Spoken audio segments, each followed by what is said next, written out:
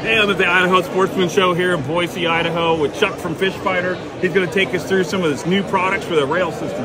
Right, really what's hot right now, Rob, is our live sonar mount. And it you can swing it around the boat. But what's really cool about it is you can remove it, move Yeah. it anywhere you want on the boat. And right now, you asked me what's hot, and that's what's hot. Awesome. Learn more at fishfighterproducts.com.